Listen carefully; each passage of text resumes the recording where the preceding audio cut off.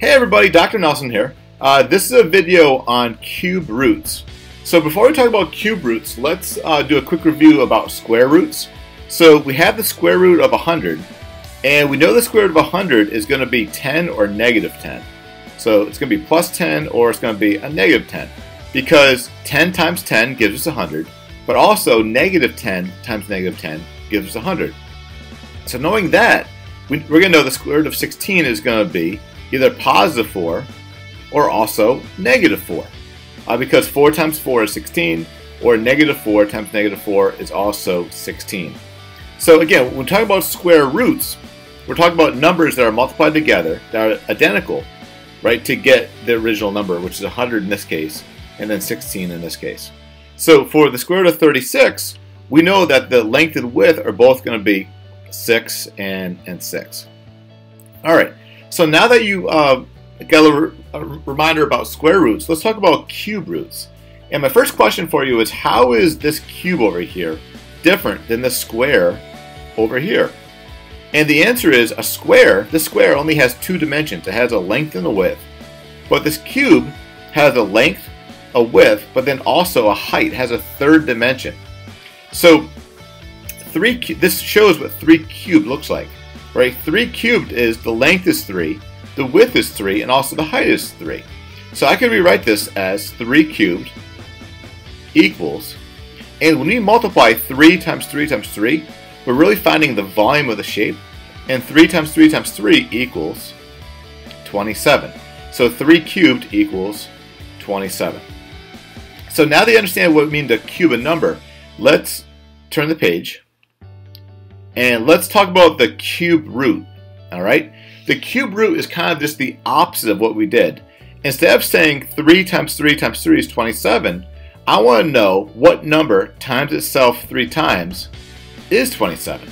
So we're going to try to figure out the cube root of 27. So the way you do this is you draw the square root sign and put a 27 in here, but then you put a 3 on the outside.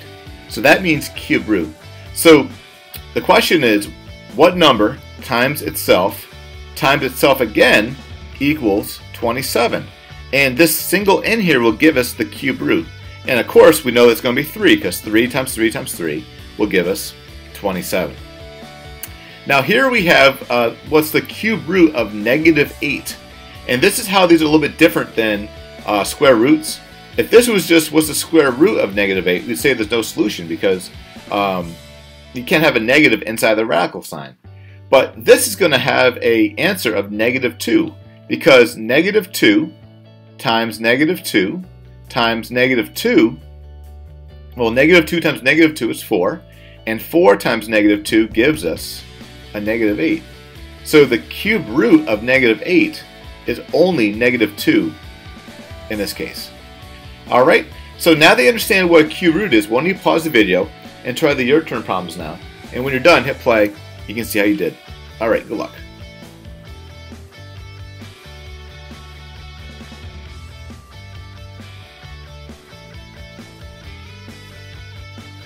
All right, welcome back. Let's how you do these practice problems.